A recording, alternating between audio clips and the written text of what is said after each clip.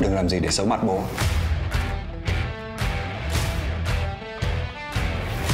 Mày trả cho bác bao nhiêu? Đóng giả bố mày á là phải trẻ, phải ngon, người ta mới tin chứ. Ông là Dạ đây là À, phụ huynh của cháu Hoàng. Tôi là phụ huynh của cháu Dũng. Tôi tên là Hoàng. Ok bác Bác, Ô tô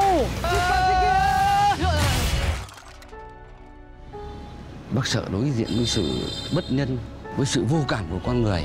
Trên đời này Cái gì mà đã qua rồi ấy Thì mình có vớt lại được gì đâu Cứ vui vẻ mà sống bác ạ Cái thằng trẻ danh này đi dạy khôn cái ông già.